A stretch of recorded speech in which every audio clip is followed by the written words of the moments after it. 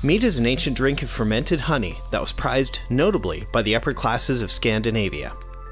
Today it's making a comeback in mixology circles. Written by Jim Austin, here's a simple method for making a delicious semi sweet mead, which you can do in your own kitchen.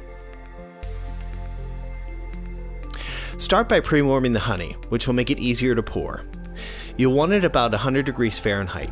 If you have access to a low temperature oven, you can use this or a water bath. Just make sure it doesn't overheat.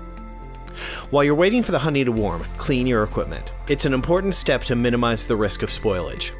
Starting with a 4 to 5 gallon stock pot, thoroughly scrub all your vessels and equipment that will contact the mead with hot water and unscented detergent. Then thoroughly rinse and clean. Scrub the carboy with a long carboy brush and soak it with hot detergent water to remove any residue of dried yeast from a previous fermentation. Carefully inspect all equipment for cleanliness and store it on a clean surface. To eliminate the vast majority of potentially harmful bacteria and wild yeast that could hijack your fermentation, the carboy and any gear used to fill and seal it must be sanitized. To do this, put 1.5 gallons of warm water in a clean 2 gallon plastic bucket and stir in 2 tablespoons of Star San. This will give you a dilute, sudsy, clear solution that will quickly kill any stray bacteria and yeast on contact. Pour 16 ounces of this solution into the spray bottle for spot sanitations. Then pour about half of what's left into the carboy using a funnel. Roll the Star San solution around the inside of the fermenter to wet the entire surface. Then drain it into the bucket for reuse. Rinse a piece of aluminum foil with the Star San solution and close it over the mouth of the carboy to keep out contamination until you're ready to brew.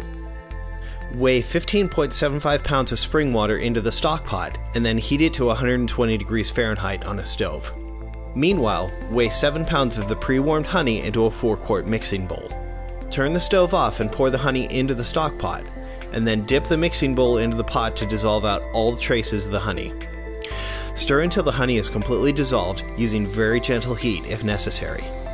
Now, weigh out and add 8 grams of acid blend, 7 grams of yeast nutrient, and 5 grams of DAP.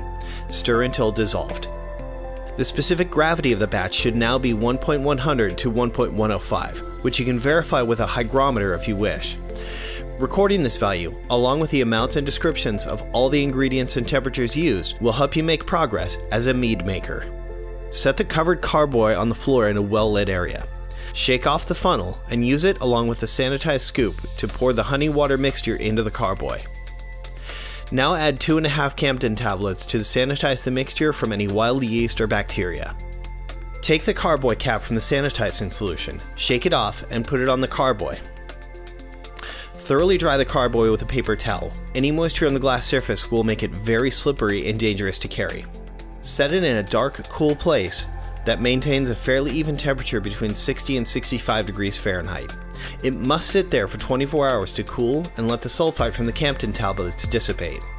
After the 24 hours is up, take the two packets of Lalvin D47 yeast out of the refrigerator and let them warm up to room temperature. Take off the carboy cap, cut the tops off the yeast packets, and slowly pour the yeast into the carboy, where it will dissolve over the next few hours. Within 24 to 48 hours, the batch should start bubbling, showing that the fermentation has started. This primary fermentation will continue for about one month until the yeast action is slowed considerably. After four weeks, it's a good practice to rack the mead into another sanitized carboy to separate it from the bulk of the yeast sediment, which could break down and harm the flavor of the mead in the long run.